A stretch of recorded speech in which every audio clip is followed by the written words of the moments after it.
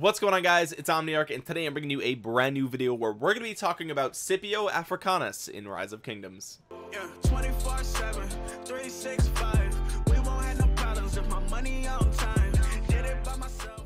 Now i'm fully aware that i'm probably pronouncing his name wrong but scipio is probably one of the most common and most popular commanders in rise of kingdoms especially in the early game. Now i do think that scipio really shines early on in a kingdom. However i still use scipio at 50 million power and what I find fascinating is that there's a lot of YouTubers and pay to win players who like to say oh you know season 2 season 3 Scipio is completely worthless he's trash.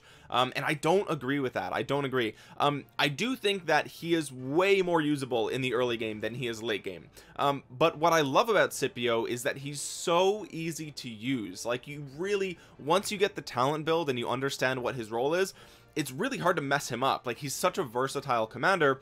Um, and I'm going to tell you a little bit more about how I use Scipio what I think his best use is and why players are saying he's not good in the late game because they do they do have a solid argument right? And I and I don't think uh, you know I don't think that he's one of the best epic commanders in the game um but he is still very usable for his use and we're going to talk about that. Now the first thing to mention about Scipio is how you can obtain him. Uh, if you guys started with the Rome civilization at the beginning of your playthrough then you already have Scipio. He's the first commander that you unlocked. Um, he's not a bad commander to start with but I do think that there are better options um, such as Joan of Arc or Sun Tzu or maybe even Boudica early game just because she is a peacekeeper. However Scipio is still a really good epic commander. Again I still use him at 50 million power.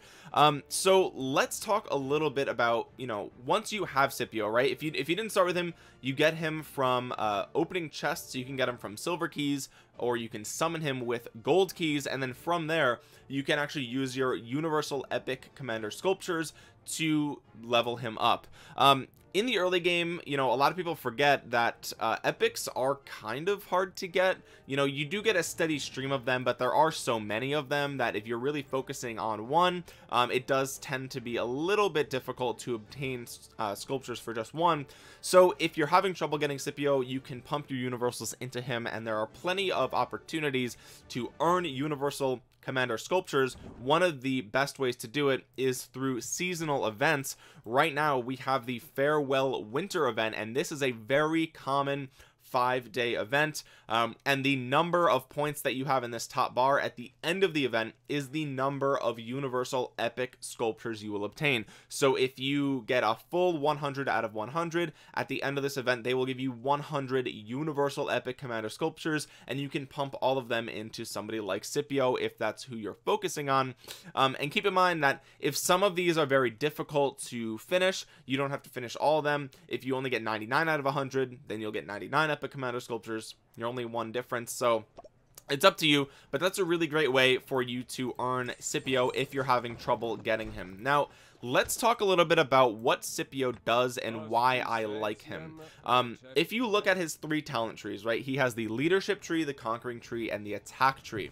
The leadership tree is kind of unique because there aren't that many uh, commanders that um, that have it especially not ones that free-to-play players would use. I think the only other epic that has it is Osman. um, Scipio the the the conquering tree is for rallying um, cities and objectives and the attack tree is a broad over uh, basically a general attack buffing tree.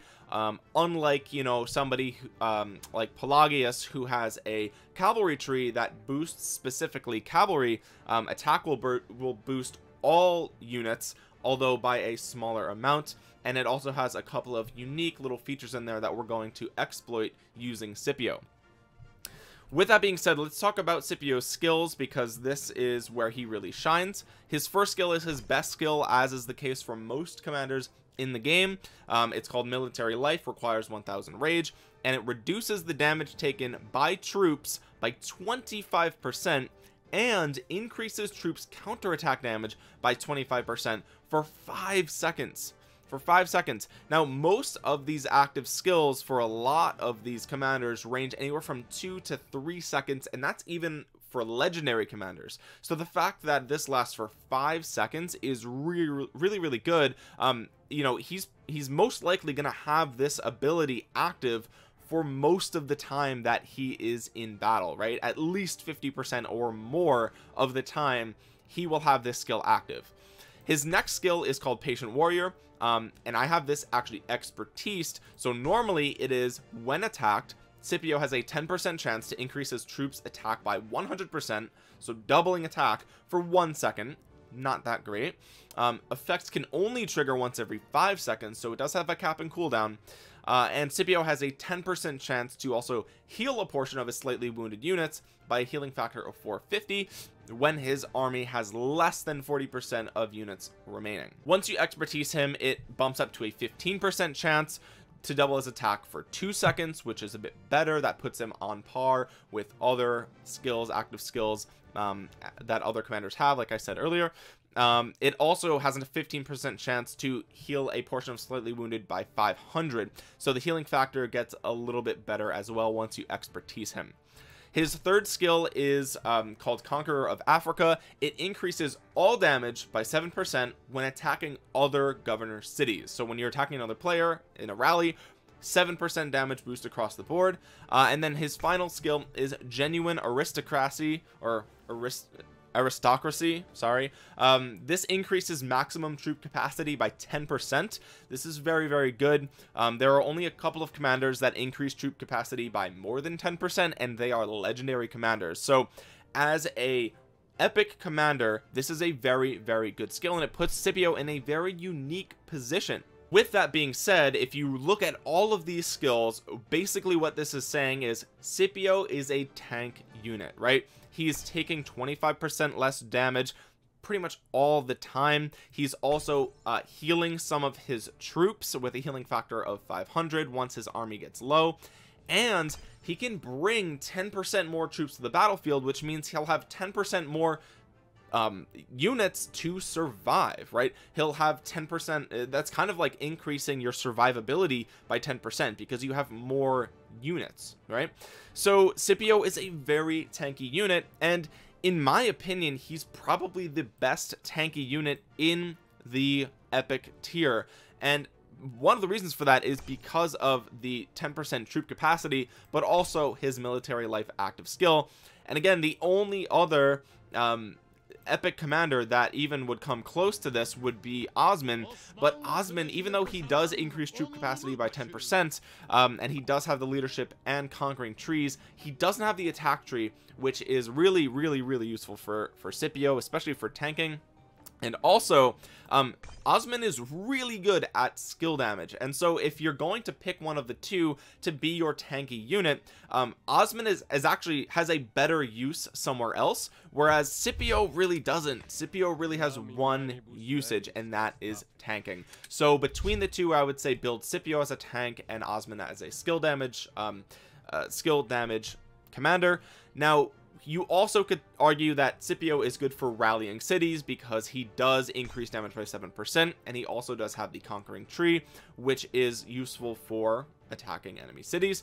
However I am a, a firm believer and a strong believer that you shouldn't be rallying cities with an epic commander. Now the only exception to this is very early game very early on when you just when nobody has a good rallying commander then Scipio is your best option right? That that's just gonna be the case in those scenarios but he's very quickly um, outclassed by many many many legendary commanders when it comes to rallying.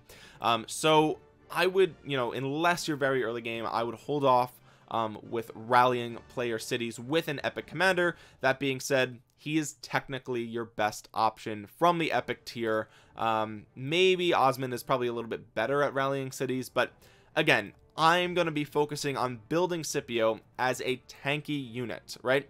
So let's talk a little bit about his talents. Now that we've talked about what Scipio is right he's a tank unit um, and he's really going to be battling in the open field right? You're not going to be defending your city with Scipio. He would be terrible at that. Um, you're not going to be really rallying other player cities because you know he's just not he's not as good as some of the other options. Other you know other players probably have legendary commanders that are better at that. So really Scipio is going to be a tanky unit in the open field. So how can we build him with his talents to do that? Now keep in mind my Scipio is level 55 so I'm still missing five talent points for Scipio. Um if you didn't know you do get 74 talent points. I know I wish it was 75 but it's 74 talent points to distribute however you please amongst these um, different talents. Um, the reason for that is because you get one for every level up so you don't get any for level one but up until 60 so that's 59 points for leveling up to max. Then you get five for getting him to five stars and then 10 for getting him to six stars. So that's a total of uh, 74 talent points which is useful to know when you're planning ahead right? Because you don't want to waste a talent reset when you're building a commander. You really want to build you want to start you know right when you start leveling up a commander you want to know what you're going to use them with or use them for. Um, and so I would recommend like I said building Scipio as a tanky unit. Now, there's a couple of really key th uh, key things here that are useful for Scipio. And like I said before, he differs from Osman in the fact that he has this attack tree. So let's talk about the attack tree first because I think it's interesting. Um, the first thing I want to talk about is Lord of War. When troops led by this commander enter battle, increases attack by, and then it's actually a formula, 1.5 times commander star level. So if your Scipio is at six stars this increases your attack by nine percent just across the board right? That's really good. That's something I would really focus on right? That's a really really good um talent to have especially once you get him to six stars right? Really early on um it's only going to increase your attack by 1.5 percent at one star not really that useful. Um, but once you start to get him to six stars that's a very very powerful talent. And it's really good because it's easy to obtain right? You put one point here three points here three points here you're done. The next thing I want to talk about is burning blood. This will actually gain more rage every time your unit is attacked. The reason that this is good is one because Scipio's a tank which means that he's going to be getting attacked a lot which means he's going to generate a lot of rage and that will help push out his first skill which again that will actually reduce damage taken by 25 percent. So the more that skill goes off the better and burning blood is going to help that. And then you see I worked my way over to effortless and what this does is during battles increases all damage dealt by 2.5 percent every 10 seconds up to 10 percent. So basically what this is saying is that as long as Scipio is in a longer battle right a battle that lasts at least 10 seconds uh, it's going to increase his damage dealt all damage dealt by 10 percent.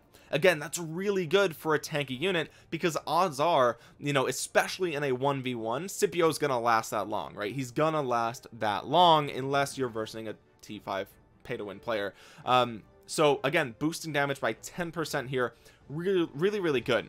Now the last thing that I want to talk about is this over here called martial mastery and this increases normal attack damage by six percent but decreases active skill damage by three percent. This is very very good because if you're pairing Scipio um, with a commander that has no active skill damage right? Because we already looked at his skills Scipio has no active skill damage so as long as he's paired with another commander that also has no active skill damage there's literally no downside to using this talent and that's exactly what I do. It's a free six percent boost to your normal attack damage. Might as well get it right? Might as well get it next I want to talk about some really key things here in the leadership tree. Again we ignored the conquering tree because I'm not going to be attacking player cities with Scipio. Um, the first thing that's really useful here is called fresh recruits. Straight up increases maximum troop capacity by three percent. This is really great. He already brings 10 percent more troops to the battlefield. Now you get another three percent on top of that. Really awesome and it really plays to Scipio's strengths um, we also made our way up here to close formation. When this army when the army led by this commander has been reduced to 50 percent strength increases attack by 12 percent right? 12 percent. So suddenly once you drop under 50 percent you're doing 12 percent more damage on top of the fact that around that time is when you're going to be um, hitting that effortless skill and it's also going to be when you are reduced to um, I, I don't know if there's any other skills here that that benefit you under 50 percent but regardless um, this is really really great especially for a tank who you know it just boosts damage once he starts to take more. So it's really really good to know. Um, the other thing that I'm going to be getting maxed out once I get more levels on Scipio is strategic prowess. After using a skill increases troop defense by 5% for the next two seconds and I imagine that this will scale up um, the more that you put points into it. So I don't know what the cap is. Um, I don't think I have any commanders that have this at cap and I'm too lazy to look it up but this is non-negotiable. I'm going to be putting four points in it because again you want to increase the defense right? Because that's going to be even more tanky. Let's take a look at some of the other things that we have here. We have arm to the teeth. I actually put all three points into here even though it's optional because it says when armies led by this commander contain three or more different unit types all damage dealt is increased by three percent. So this is saying if you have a mixed army increase damage by three percent. That's what we're going to be doing a Scipio and we'll talk about how I use Scipio in the open field in a second and why that will make more sense. Over here it says when armies led by this commander contain three or more different unit types all damage taken is reduced by three percent. So this is the same thing. Mixed army reduced damage taken by three percent. Really awesome this increases normal attack by 1.5%. That's not crazy. Grants more rage, which is awesome. Anytime you're attacked, you grant more rage. Um, this will enhance healing effects received by troops by 9%, which is awesome because Scipio does do some healing. So again, mine's level 55. That means I have five more more points to put into Scipio. I'm going to put four here, and then my last point. I don't really know where I'm going to put it. Um, maybe I'll I'll put it here, or maybe I will put it maybe in unyielding. I'm not really sure. This final talent here is actually useless for the way that we're using Scipio because this says when this commander launches a rally attack increase attack of the rallied army by one percent. And i imagine that goes up to five percent when you put all five points in it. But again we're not going to rally. So there's no point in putting any points here and then if we look at last stand um, this says normal troop attacks have a 10% chance to cause this commander's troop to go on a rampage which increases damage by 2% for three seconds but skills can't be used for the duration of this effect. So this is actually not good for Scipio because you're only getting a small damage increase which probably goes up to 10% when you have all five points but um, what you want on Scipio is to have him popping off this active skill as much as he can right? As much as he can with the very minimal rage engine that he does have. Um, and so you know not being able to pop this skill off is really detrimental to Scipio because this is where a lot of his tankiness comes from. And so that's the reason that I didn't go all the way with the attack tree. So actually having a mix between the attack tree and the leadership tree provides Scipio with the most amount of benefit that um, you could possibly have with him uh, right? And so this is what I would recommend. Um, I would recommend this exact build. If again if you're not going to pair him with somebody that has skill damage that's your best option.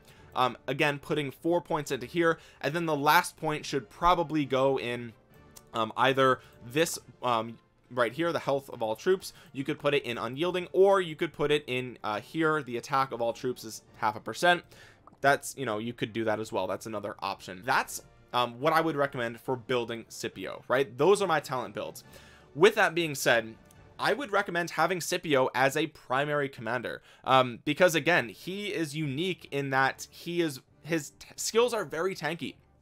And also um, his talents are very unique right? He has the uh, leadership and the attack tree which is very very useful because of the way that we built him. And there's really not a reason to build him any other way than this right? Again the only other time you would build him some other way is if you build out that conquering tree. And that's if you're rallying cities which you know again if he's your only option then yes I would build out the conquering tree. But otherwise this is probably your best bet in my opinion. Now with that being said how should you use Scipio in the open field and who should you pair with Scipio if he's going to be uh, your you know your primary commander right? Well first off let's talk about what can you do with a tanky unit right?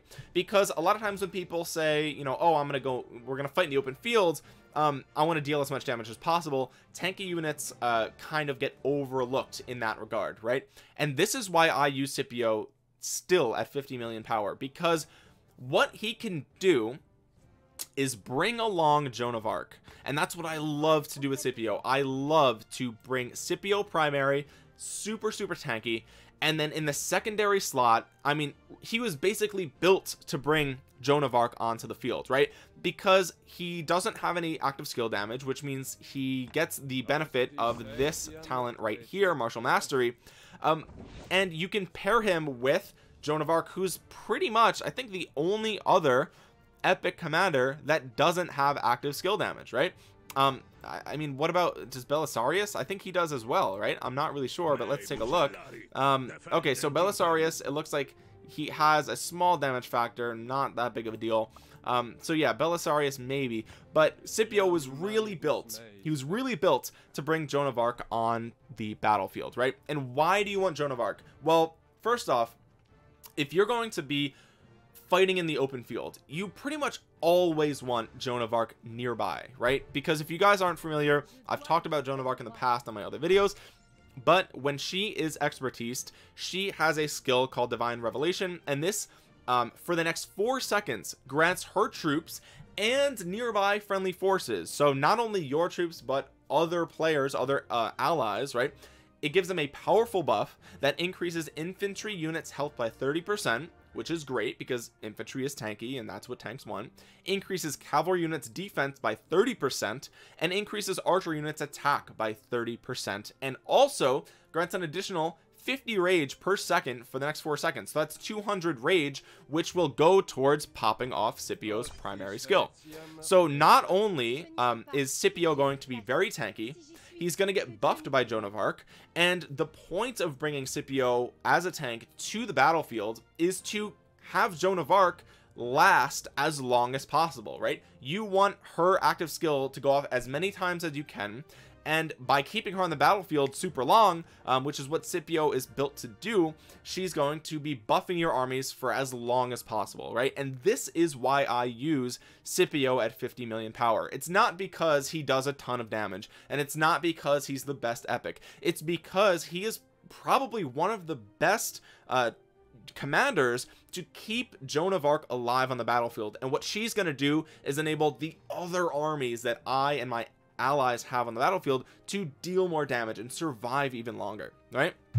On top of that Joan of Arc also has a healing factor just like Scipio does and Scipio also has talents that will buff the amount that the healing works. Um, I do have to do this verification. Give me one second. And on top of that healing factor which again adds to the tankiness she also increases normal attack damage rate 25 percent. So that's cool right? You just get a 25 percent damage buff with Scipio. That's awesome right? That's really awesome.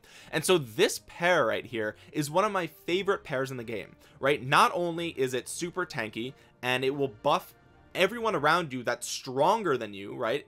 All the T5 players are going to get that Joan of Arc buff as long as Scipio is on the field and he's built to last as long as possible. Now the way that you make this the most usable is by when you're fighting in the open fields having all five of your armies kind of focused on the same targets or in the same clump general area right? Um and so you have to start to think about okay I only have five armies right? And, and if you're not city hall 25 you actually may only have four armies to bring to the field or three armies to bring to the field right? And so I would say if you only have three armies to bring Scipio's probably not one of your best options right? Because you have troop training buildings and you're going to be training troops and these buildings are unique to a specific troop type right? And so there's no instance where you can have four troop training buildings that train cavalry right? You can't focus on one specific um, unit type right? Now when it comes to speeding up of course you could speed up just one building over and over and over again but for the most part for most free-to-play players you're going to have a mix of all of these troops right? Which means what you want to do is have armies that are specific to that troop type. Now we're going to be ignoring siege because siege is not good in the open field. So really you have three unit types. You have infantry you have cavalry and you have archers. And so if you only have three available armies to fight I wouldn't recommend bringing Scipio because you would be better off using those troops in a purely uh, in with a commander that is purely buffing that type right? So if you only have three available I would have one army be full cav one arm army be full infantry and one army be full um full archers right? And so if you have four armies well now you would still have those three and you have a fourth slot that's open you could do one of two things with that uh you, could do one of three things with that with that fourth slot right? You could bring another full army of a specific type with a commander that buffs that specific type. Um the problem with that is that you may not have enough units to uh, fully flesh out a full army of that specific type. The other problem with that is you may not have another pair of commanders that can really um that could really buff that specific troop type. So you have two other options right? If that's not an option uh, especially late in in a war like kvk late game you're really going to be low on troops. So another option would be to bring a mixed army right? And there's two things you could do with a mixed army. The first would be to focus on skill damage or aoe right? And that's a really good option if the open field is flooded with enemies um, or if you're defending a flag or something like that uh, the second option would be to bring a mixed army that buffs your nearby armies right? And so that's where Scipio comes in right? And whether or not you want an AoE a skill damage um, army versus a very tanky buffing uh, support army it depends on the context of the war that you're in right? But those are the two options and they're both great options and Scipio is probably the best option for most players especially free to play to fill that second support tank role. Now once you bump up to five armies well what i typically do is i have one uh, three armies one of each troop type. Then i will have one skill damage aoe right? That also tends to debuff because i usually use Aethelflaed with sun tzu um, Sun Tzu primary, Aethelflaed, secondary, um, and then the fifth one is that really tanky uh Scipio unit that is just buffing everything around it. I tend to send Scipio out last and the reason for this is because it doesn't matter what his troop composition is. So I'll send out the full three armies all with their primary units, right? So send out the full cav, full archer, full infantry and then I take a look at what units do I have left, right? What units do I still have to work with? You can take all those units again forgetting siege you could take all those units and just throw them in Scipio and put them out in the field and it doesn't matter right? And this is why he's so easy to use because it doesn't really matter what troops are in his um in his army. Now he does have talents that benefit him if he has one of at least one of each troop type um so that would you know it's good to have a mixed army but he's kind of just like a melting pot. Just throw what you have left into Scipio slap Joan of Arc on there and send them out in the fields and they're really going to be effective right? It doesn't really matter what they're composed of. Now if you want to get technical um i would suggest uh putting scipio um having his army army mostly infantry units right? Because again Tippy, uh, scipio is a tank and infantry is the most tanky unit right? So it just goes to uh, you know ration uh, just by rational thoughts right that you would want the most um, tanky units. Now, again, you still want a mixed army because he, he gains benefit from that. Um, but I would say, you know, if you could, it would probably be optimal to have 50% of Scipio's army be infantry, and then one quarter of it be cavalry, one quarter, quarter of it be archers. That would be, you know, if I were to reason, that would probably be best. Or you could maybe even have, you know, 66% infantry and fill in the rest with what you have left. But again that's my thought process and that's how I would use Scipio. Now why do players say he's bad right? Why do why do late game pay to win players say that he's bad? Well um there's a couple of reasons. Uh the first is that if he gets focused by T5 players, he's he's still going to crack, right? He's still going to get kind of melted because you know, he is a great universal commander, but the buffs that you get from a specific type just overwhelm all the buffs that he has to his tankiness right?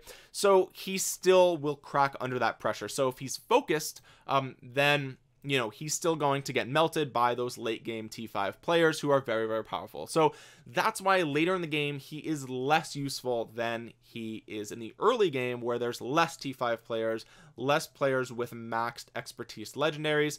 Uh, and it's for that reason that a lot of you know late game high paying players don't like to use Scipio but in my opinion, I think most people are not going to fall into that category, right? Most players are free to play. Like that's just the reality. And if they're not free to play, they haven't spent that much, right? They've spent less than $100 on the game, which means that they don't have that many other options. And for that reason, I think Scipio is still worth talking about because he's still good to use. You know, if you have five armors, five uh, armies, five possible armies, you have to fill them, right? And Scipio is so easy to use, and he, he really brings a lot to table with Joan of Arc. Now, another thing that we can talk about is what if you don't want to use him with Joan of Arc right like let's say you have Joan of Arc set up for something else let's say maybe you built Joan of Arc full support tree so you can you can maximize the amount of her rejuvenate skill and you have some you know unique build with Joan of Arc that really utilizes that right so let's say you don't want to bring Joan of Arc. What else could you do with Scipio right? If it's not her. Well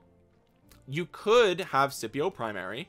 You could have um you could have Richard as a secondary because he's very tanky right? He's very tanky in the open fields um you know it's unlikely that you would have an expert expertise to Richard as a free-to-play player but maybe you do.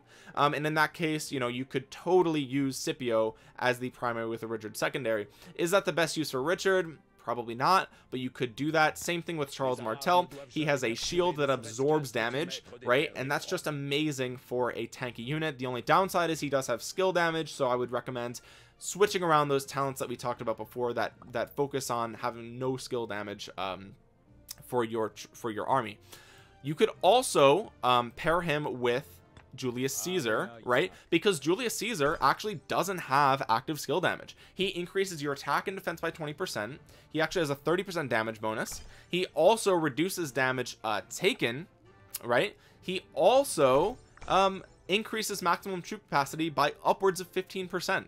So it would be totally reasonable to assume that Julius Caesar would be an excellent secondary um, commander for Scipio because he also has the same trees right? He has the same talent trees so they're really very similar commanders except Julius Caesar is just very hard to come by right? He's just very hard to get um, and I wouldn't really recommend putting a lot of money into Julius Caesar because or, or a lot of um, legendary commander sculptures because there are other better options like Richard and Yi Seong-gye and plenty of other choices right? So if you happen to have a very very well skilled Julius Caesar um, you could use him as a secondary to Scipio and that would just really play to Scipio's strengths as a tanky commander at the cost of not bringing Joan of Arc to the battlefield. Um, and with that being said there's not that really not really that many other great options. Of course alex has a shield. Like that's fine. Um Yi Seong-gye is maybe someone to look at because he's going to stay on the field even longer but i would argue that there's plenty of better options for Isong Seong-gye even as a secondary. You could have kusunoki as a primary with Isong. You could have um sun tzu as a primary with Isong. You could have Aethelflaed as a primary with Isong. So you could um, but I just don't think that that's the best option. So really you're limited to you know I would recommend um, Scipio with either Joan of Arc a Julius Caesar or maybe a Richard or someone like that right um and with that being said guys this has been a super long video. Um I hope you guys have a better understanding of why Scipio is still good for free-to-play players the way that I think he is the best uh, best use you know the best use for Scipio um, and how he can be very versatile not only for you but to help Joan of Arc buff all of your T5 super powerful pay to win players around you with that being said guys if you enjoyed this video make sure you subscribe to my channel and turn on notifications for the next time that I upload a rise of kingdoms video. I do plan on doing more commander guides so you don't want to miss those. Most of you guys at least 95% are not subscribed to this channel so go ahead and sub to the channel. I would really really appreciate that. Comment down below if you have any questions about Scipio. I'll be more than happy to help you guys out in the comments. I also live stream on Twitch. Um my link will be in the description below. Even if i'm not playing rise of kingdoms if you see me live you can stop by and ask me any questions that you want about rise of kingdoms. I will be more than happy uh, to answer those questions for you. If you enjoyed the video make sure you drop a thumbs up on it. I would really really appreciate that. It helps me um, get this video out to more people. And with that being said guys thank you so much for watching. This has been omniarch. I will talk to you guys again soon. Peace